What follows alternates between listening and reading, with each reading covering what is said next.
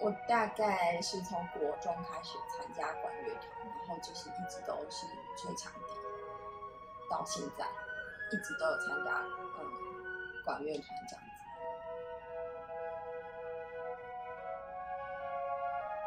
我之前在网络上一直有看到，就是亚洲的老板娘他们有办很多成人的长笛团，那当时候没有在台北，然后我一直很想找一个就是。除了管乐团，除了独奏之外的，就是长笛的合奏团。那刚好有这个契机，雅卓成立了这个长笛的合奏团，所以我就很开心的，也自告奋勇的参加。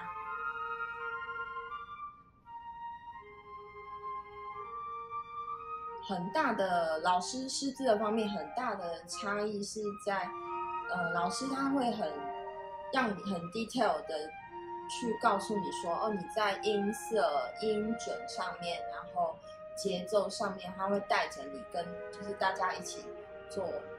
调整。那我觉得参加合奏团之后的耳朵就会更打开，然后去听说，在这个时候我应该要听到自己的声音，听到别人的声音，然后去做出比较和谐的一个乐曲的演奏。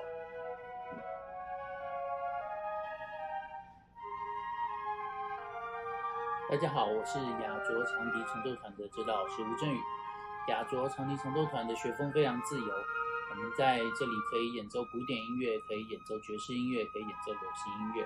然后我们特有的小编制教学呢，也让学员更有时间能够进步自己的音色技巧与合奏观念。啊，一个人练乐器太无聊了，欢迎大家加入雅卓长笛重奏团。